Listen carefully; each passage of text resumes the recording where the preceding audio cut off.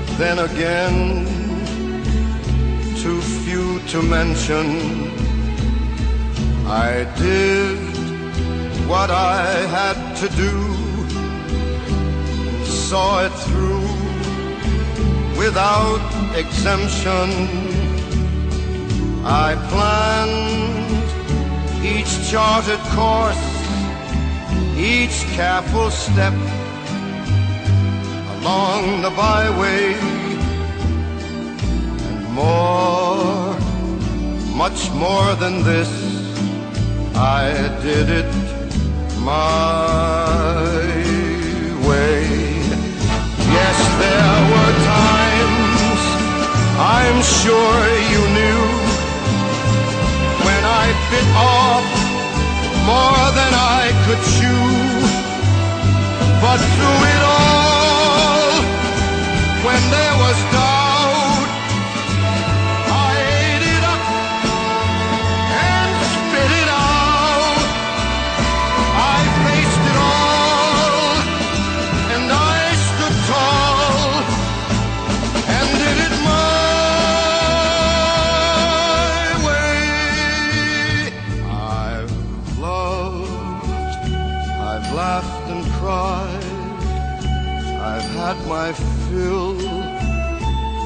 my share of losing, and now as tears subside, I find it all so amusing to think I did all that. And may I say, not in a shy way, oh no, oh no, not me. I did it my way. For what is a man? What has he got? If not himself, then he has not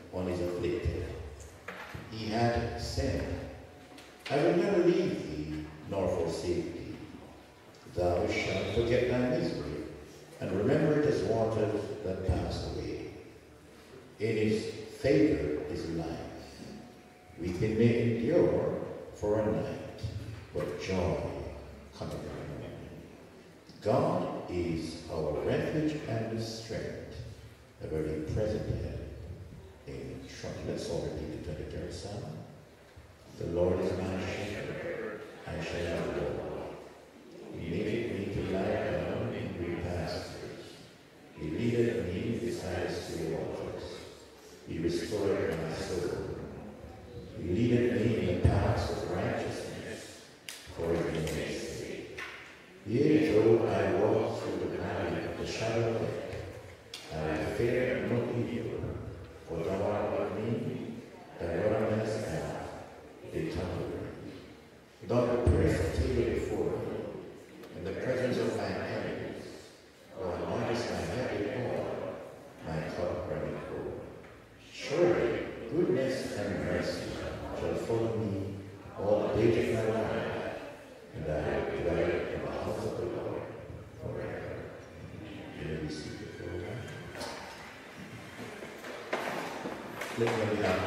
extend family and my own family express our sincere condolences to the members of the bereaved family and pray that God will continue to grant you strength and the courage that you stand in need of as you pass through this time of bereavement.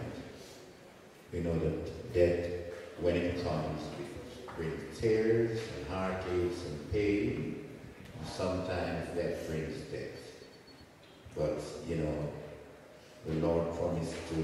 Or dying you unto death. At this time, deaconess, we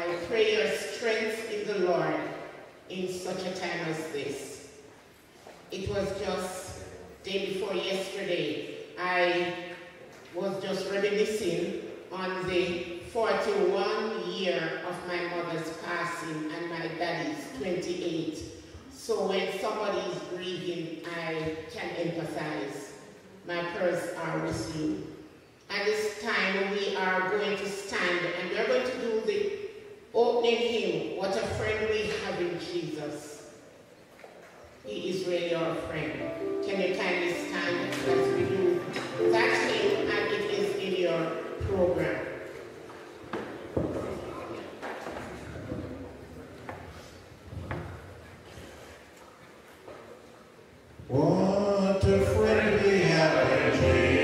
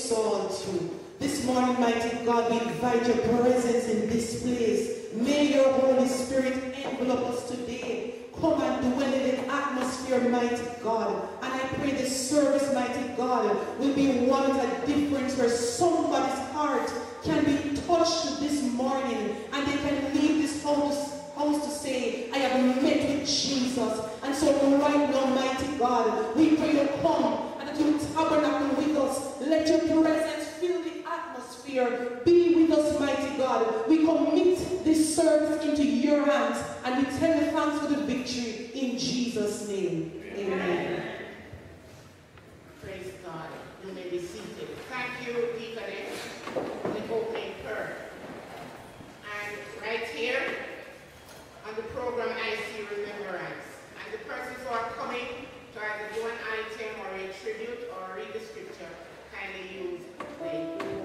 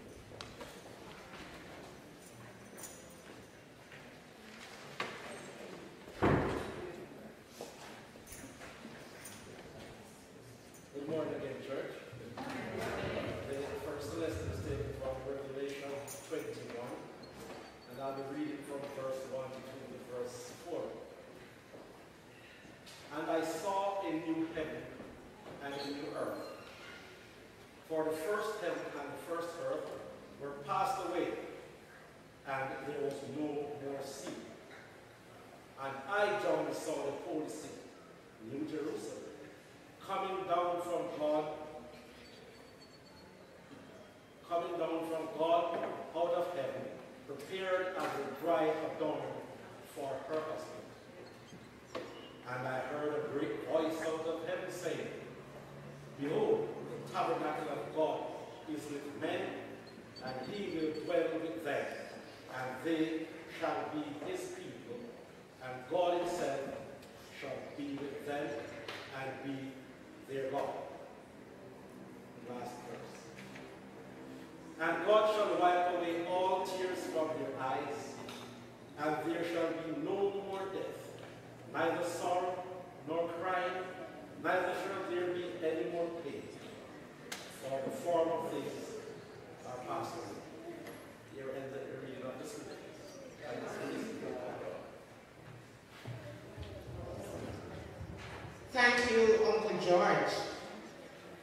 and the Lord shall wipe away all tears from the eyes. What comforting words today, family keep heart. Not this time I'm inviting Miss Elaine Boswell, a cousin of the deceased, to come and do the second lesson, Psalm 23.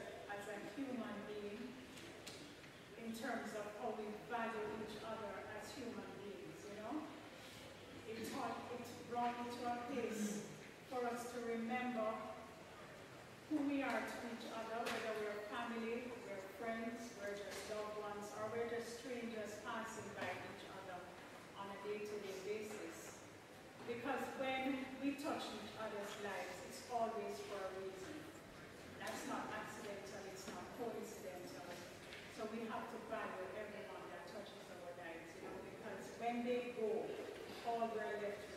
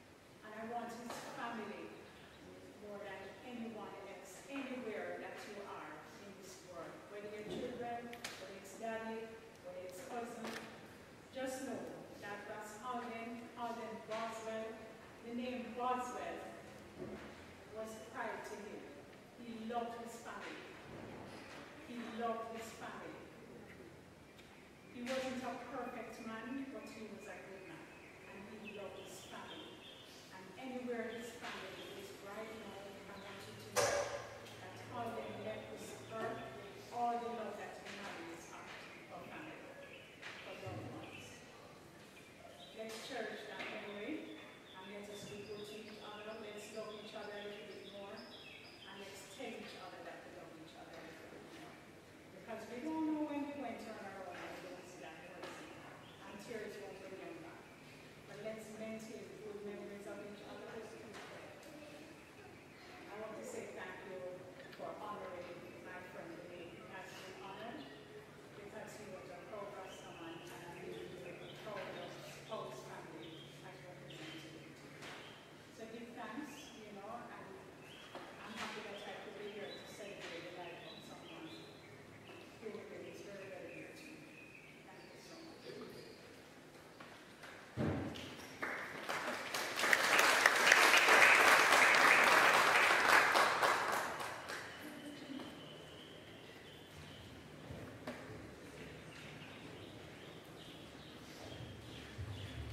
Okay, thank Sister for your words, because you knew him. And the beauty about it is that while we are here on earth, that there is coming a time for every one of us. Just like when we look at the front of the program and we see sunrise July 14, 1975. Some persons write it another way. They will write um, 1975, July 14, 1975 dash, December 14, 2023. And that dash is the life that we live here. While we are on planet Earth, let us make sure that we make full use of that dash.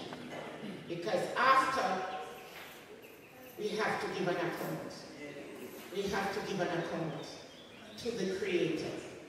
My prayers are that every one of us, every time we see a casket, we reflect and take a look at ourselves and say, the day will come when it is needed. Thank you again, Sister Mitzi. At this time, we are going to do the offertory hymn. My eyes have seen the glory of the Lord. And I am going to ask two family members to take the basket and collect the offering for us in memory of Arlene Foster. Can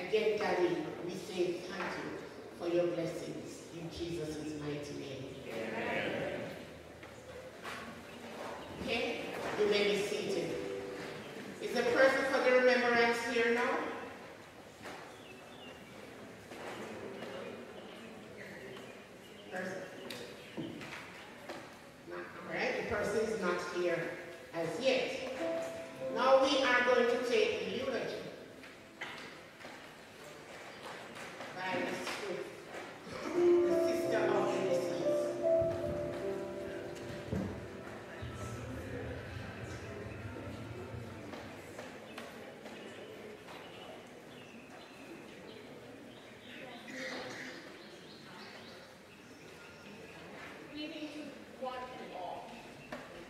Today, we are celebrating the life of Halden O'Neill Boswell, known as Roscoe Halden. On July 14, 1975, Halden came into this world to be to the proud parents of Judith McKay Hines and Lloyd Boswell. He was the first son to Judith and the second son to Lloyd. He grew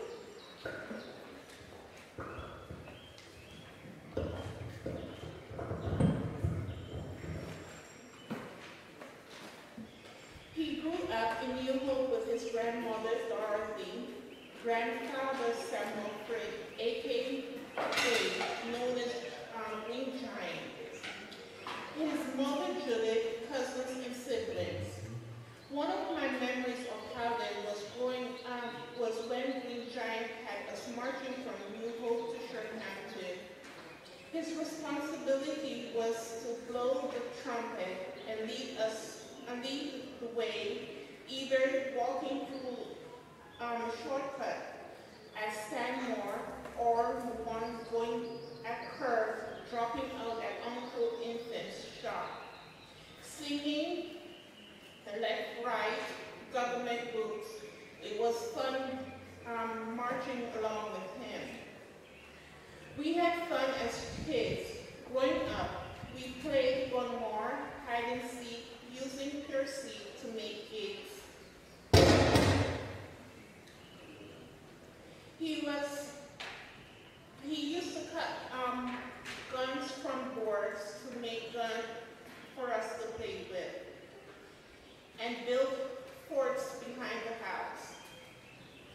I remember he was, he used to get up on Saturdays to help his grandfather Stephen kind out goats.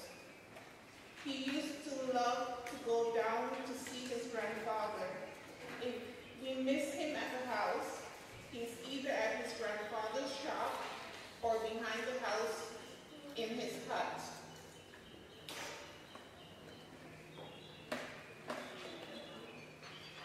But it was the lesson learned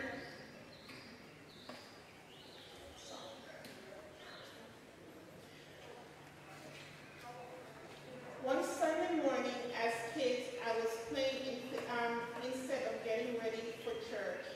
I climbed the tangerine tree that was at the side of the house, picked the tangerine and dropped it. Coming down the tree, looking down, the only person who I saw there at the bottom was Halden, with the tangerine waiting. I hurried down the tree, and he took off. I ran and catched him up. We fought, fought over that tangerine. No one got it in the end. I was mad with. The lesson I learned that day, I, I bit him on the shoulder. My grandmother was mad with me, and that's the day I, left, I learned never to fight over food. Helen went to Nashville. He passed the technical exam and went to Homewood just for a few days. Then he migrated the state, where he went to live with his father and siblings in Connecticut.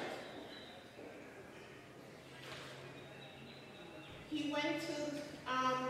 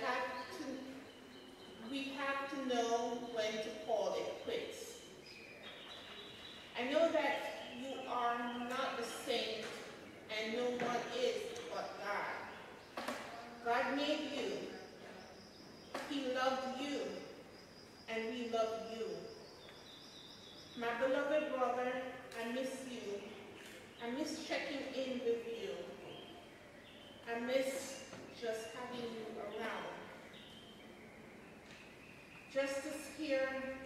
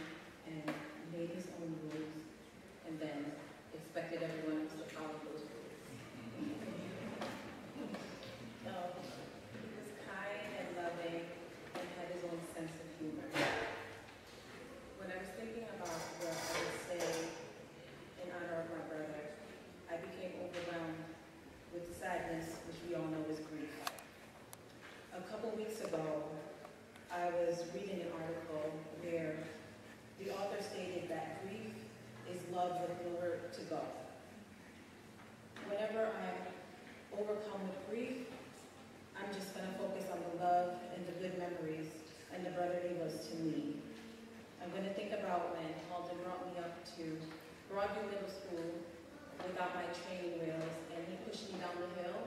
So I learned how to ride a bike, and I know how to ride a bike now. um, I'm going to think about when I was 13, and he was teaching me how to drive, and way how he taught me how to drive was he pulled over on the hutch and told me to get, get him home. And that's how I learned how to drive.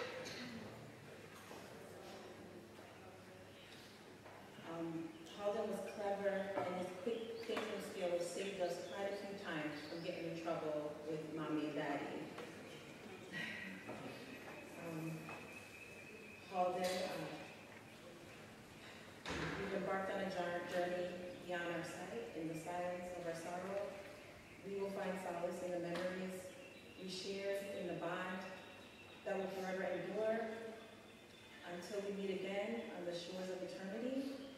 Your spirit remains eternally cherished forever,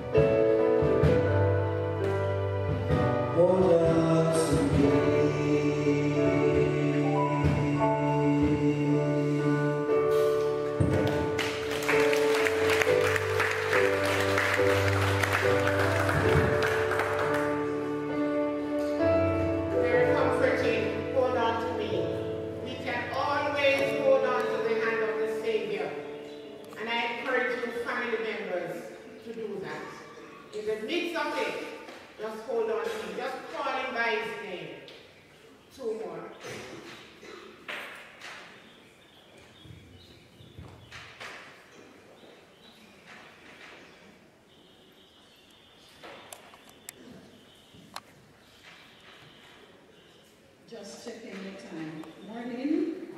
Good morning.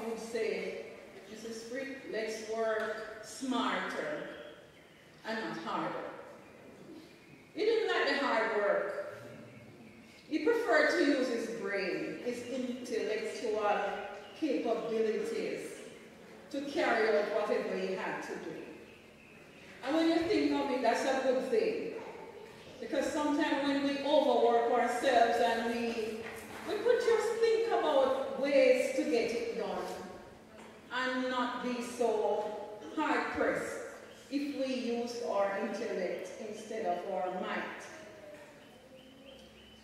Harley was very respectful. Whenever he greeted people, he would greet them with a smile. And he had these little quirky things to say. Miss Fritz. Why, brand you up.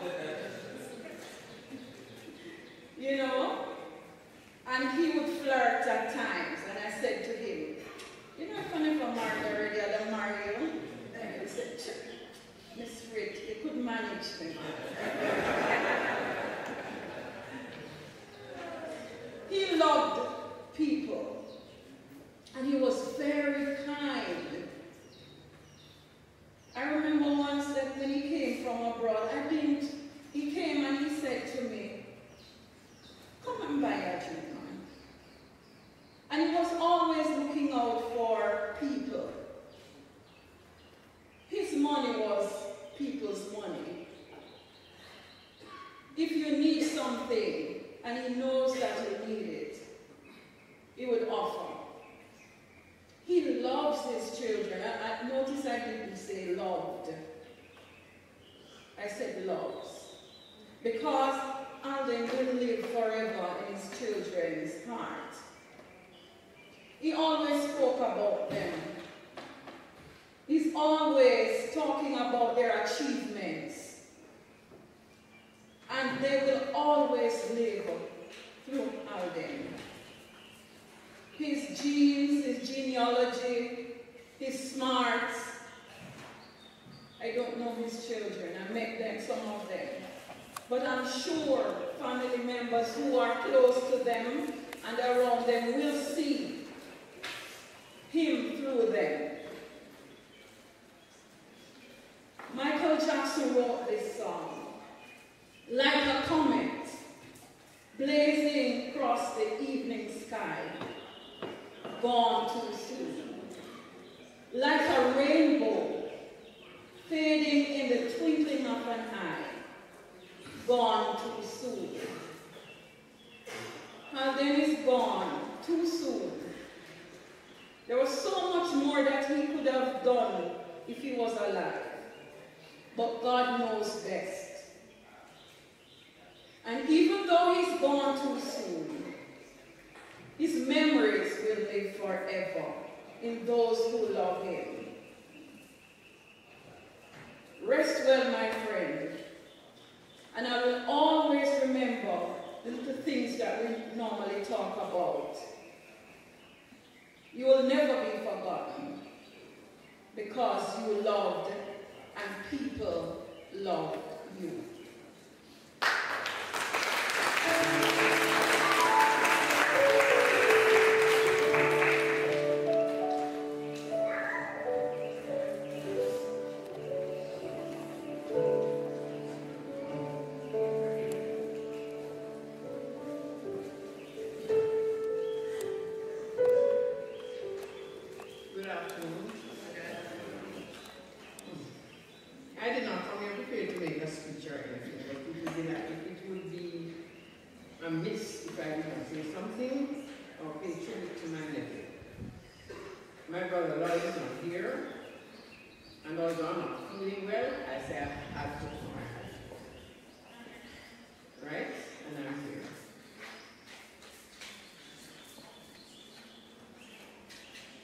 Halden was a beautiful person.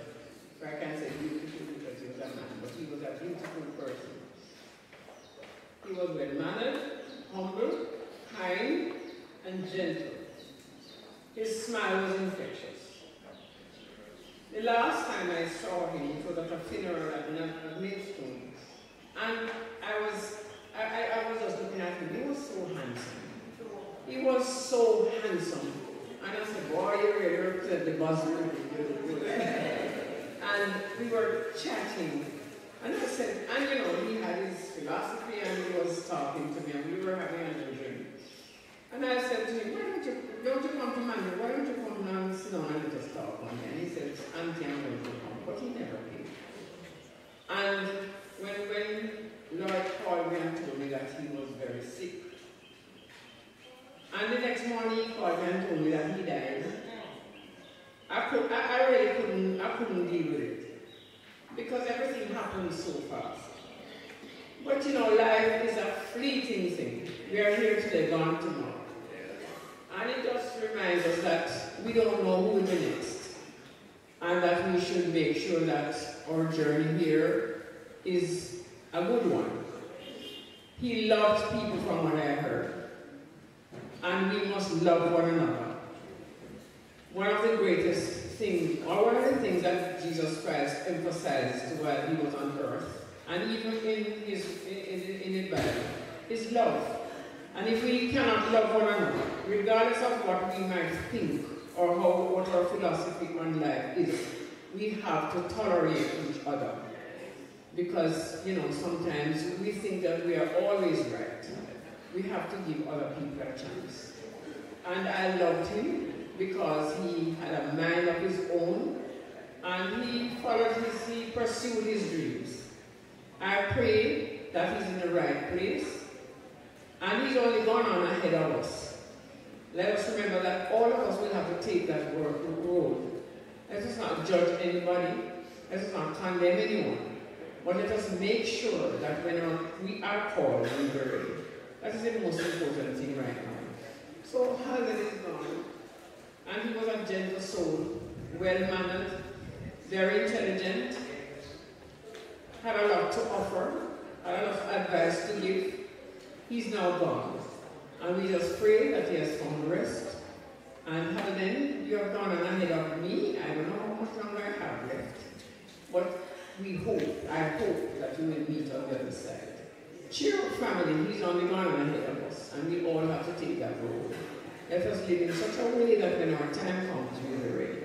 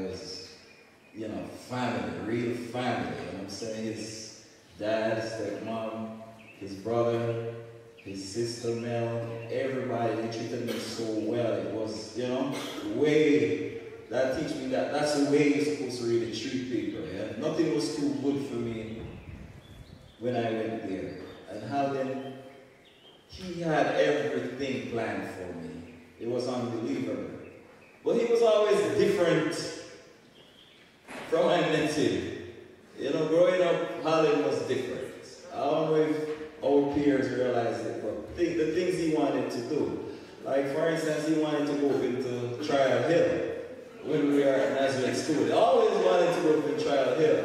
But when I went to America, on Sundays, he always wanted to go into a hill. so we would take this journey and we would go into the hills on Sundays. And um, there was a river nearby and he would just sit there. He loved nature. Yeah, he loved nature. And um, he didn't change much. I realized he used to love to draw certain things while we were in school. And when I went to his house, he weren't drawing them anymore. He actually had these items. and I was like, man, did you didn't change one bit? It's the same Halden. Um, Halden is gone before us. But I'm thankful for the times that I have spent with him. And I know his soul is gone on to a better place. And I hope that one day we will just, we all will meet him in that place. And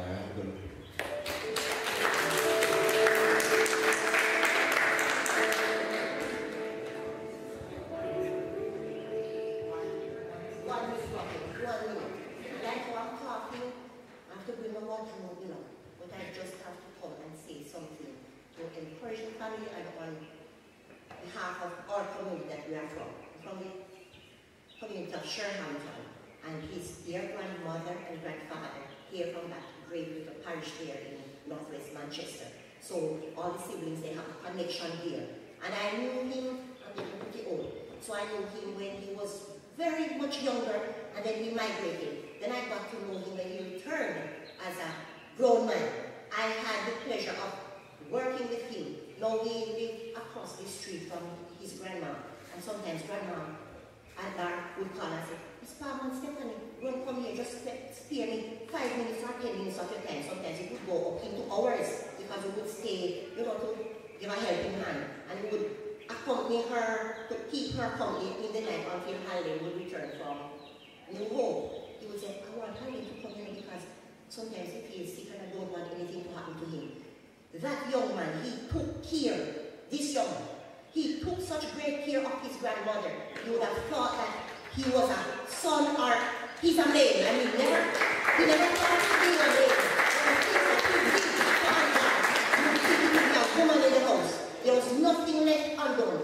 To tidy her, to fix her up, fit her up for church, get, I mean, he was there. He was very respectful, very noteworthy. He was patient, and I'm telling you, he is missed. I miss him, and I'm not going too far back, but the genealogy line, I always say, sometimes I miss, and I say, Honey, Robert's here, Miss Farmer. No. Yes, Robert's connected. What was there, please? if you ever say it, you say, no, my grandmother is married, free. But I'm Roberts and was there. And he was very accurate in his dealings. When Andar died, he never failed to recognize the that he could remember and identify who gave the helping hand. I'm glad for this opportunity. I want to encourage sisters, brother, and the other members of the family, be strong. The same God who has been taking people along will continue to take us. Halden was my grandfather's great great great grandnephew, so the bloodline.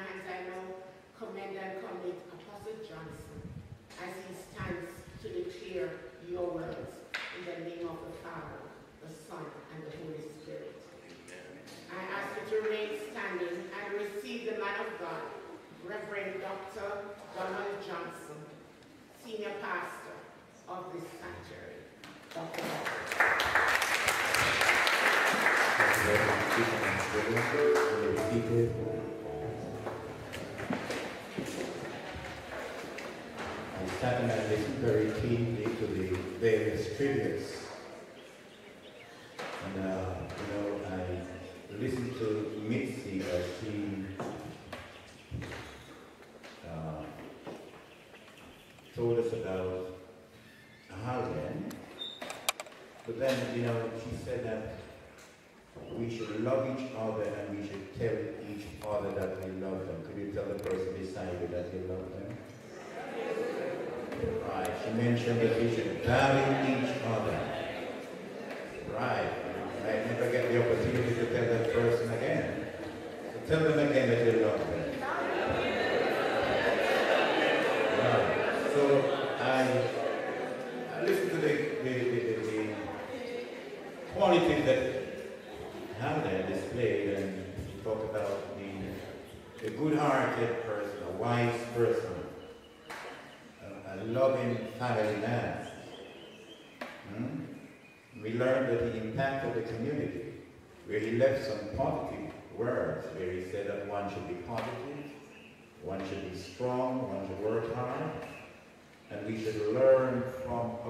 mistakes. Hmm? We should embrace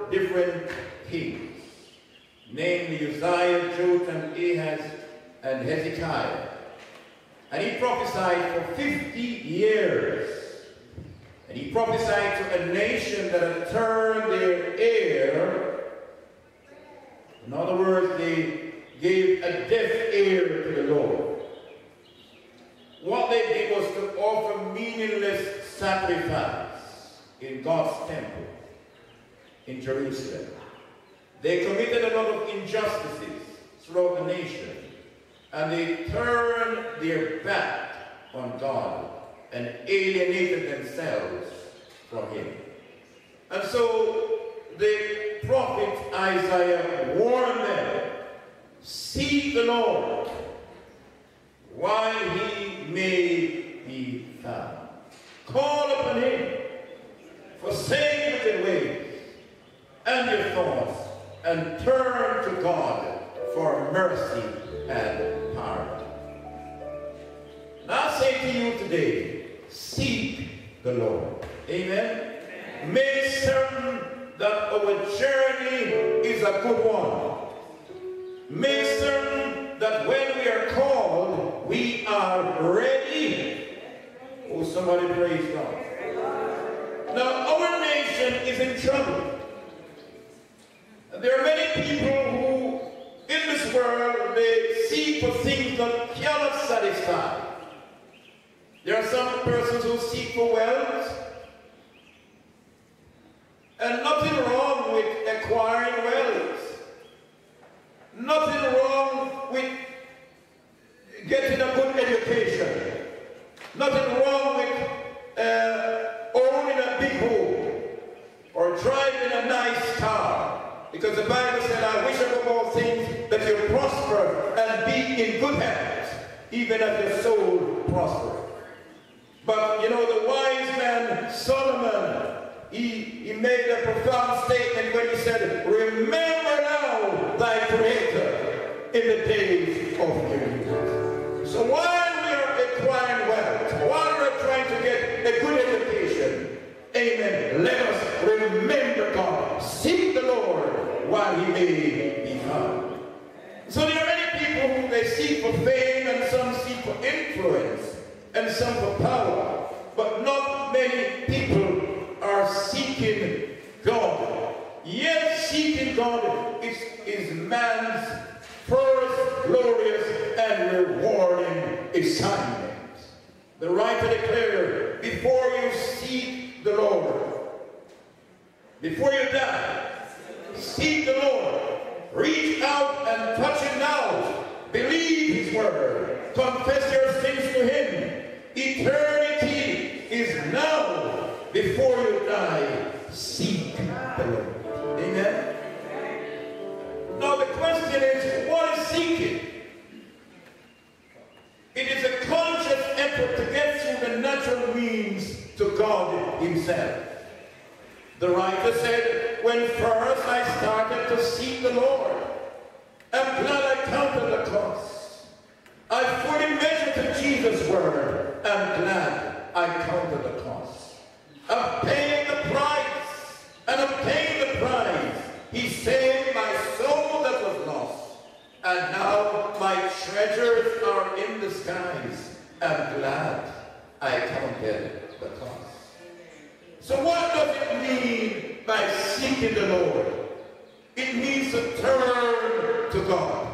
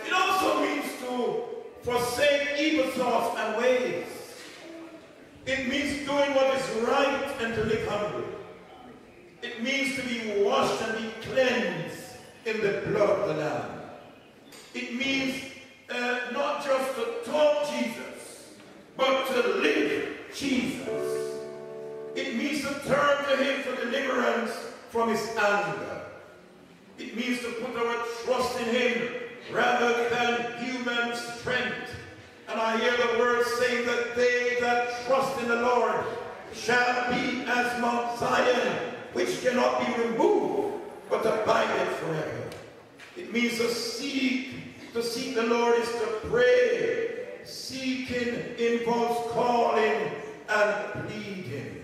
Somebody praise God. So why should we seek the Lord? In God we find purpose. Amen? In God we find purpose. We will never find purpose until we begin to seek God. We are not just a collection of molecules thrown together by random chance. The God of the universe has carefully and intentionally crafted us for a purpose. And that purpose is to seek him and to serve him with all of our hearts. Somebody praise God. We seek him because we have been, we, he has invited us to do so. We seek him because knowing God is a privilege. And I say that again. Knowing God is a privilege. The writer said, what a friend we have in Jesus. All our sins and griefs to bear. What a privilege to carry everything to God in prayer. Have we trials and temptation? Is there trouble anywhere? We should never be discouraged, but take it to the Lord in prayer. Amen? When we seek him, our needs are met. He promised to supply every need according to his riches in glory. When we seek him, we will be strengthened. And not only that, but we will find rest for our soul. Somebody praise God. Our desire should be to find rest for our soul. Oh, somebody praise God. Amen. We will live when we seek God. The Lord said to the house of Israel, Seek me and live. Amen. Then not only that, but there is forgiveness in seeking God. There is forgiveness in seeking God. And then there is blessings also. Blessed are they that keep his statutes and seek him with all their hearts. Not only that, but the psalmist stated declaring Psalm 1. Blessed is the man that walketh not in the counsel of the ungodly, nor standeth in the way of sinners, nor sitteth in the seat of the scornful, but his delight is in the law of the Lord, and in his law doeth he meditate day and night. And he shall be like a tree planted by the rivers of water that bringeth forth fruit in its if he shall not wither, and whatsoever he doeth shall prosper. So when you seek God, then there is a blessing awaiting. Oh, somebody praise the There is also security in seeking God. And I hear that Psalmist David, who, you know, of course, he was a man who, amen, although he had a lot of please. But he said, Vain is the help of man. I will lift up mine eyes unto the hills from whence cometh my help. And so David sought God. And one of his, uh, you know, outstanding writing, in one of his writing, he said, Yea, though I walk through the valley of the shadow of death, I will fear no evil, because God is with me. And if God is with you, you can go anywhere. Somebody pray for me. If God is with us, no danger, nothing can harm us while he lives. Amen. And so there is joy in seeking God. There is satisfaction in seeking God. There is mercy in seeking God. One writer said, mercy rewrote my life. I could have fallen, my soul cast away, but mercy rewrote my life. Then mercy, there was grace, and grace was free. Pardon there was multiplied to me. There my burdened soul found liberty, freedom at Calvary. There is peace in seeking God. The writer said, when peace like a river attended my way, when sorrow like sea did. Whatever I know, was taught me to say, it is well, it is well with my soul. Amen? Amen. Then there is grace in seeking God. When you seek God, you have or you find grace. And not only that, but there is hope in seeking God. There is hope in King Jesus. There is hope in the Lord. The writer said, if it was in this life only we have hope, we would be of men most miserable. But my hope is built on nothing less than Jesus' blood and righteousness. I dare not seek or trust the sweetest thing, but wholly lean on Jesus. On Christ, the solid rock I stand. All the ground is sinking sand. Amen? Amen. We should seek him because he is the bread of life. We should seek him because he's the chief shepherd. We should seek him because he's the horn of salvation. He's the love of God. He's the way, the truth, and the life. He's the rose of Sharon. Amen. He's our refuge and strength, a very present help in time of trouble. Amen. Amen. So there are many Bible stories which tells us of individuals who sought God while they were in trouble. Amen. In 2 Chronicles 20 verse 5, the Bible tells us that the Ammonites and the Moabites, two antagonistic nations, were up against a king by the name of Jehoshaphat. And he set himself to seek God. He set himself to seek the Lord. And as he saw the Lord in prayer, he cried to God, declaring that we have no might, no strength to fight this great army.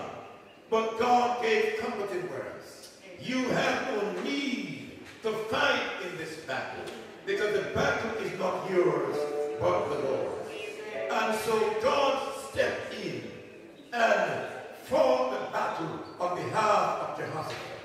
When you see God, God is going to fight for you. Oh, somebody praise God. Somebody praise God. So we should see God because he's our rock and our sword and our shield.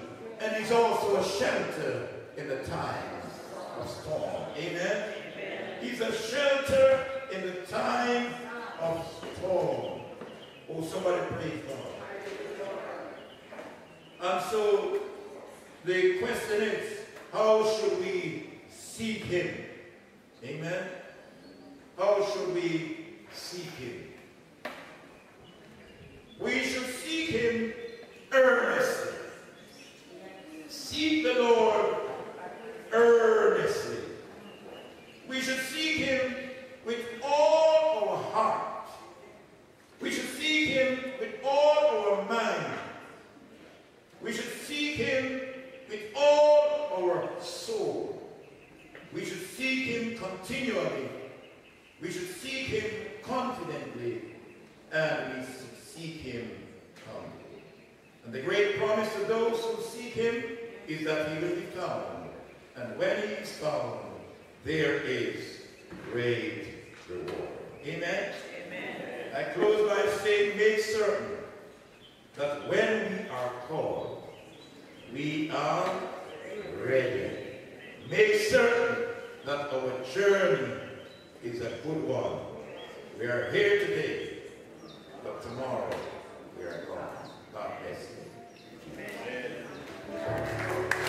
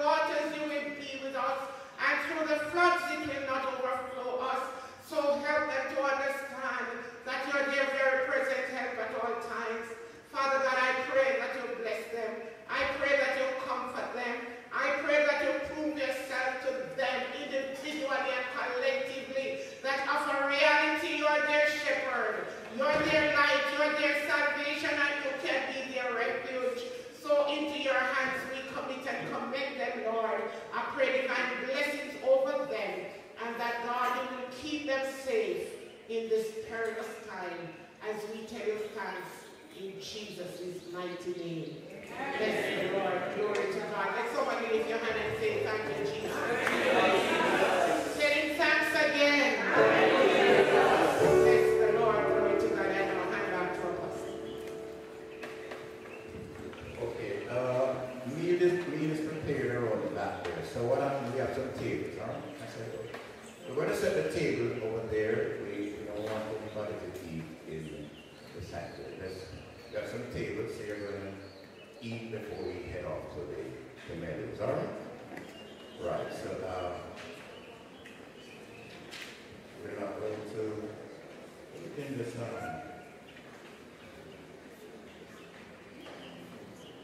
61 grows appropriate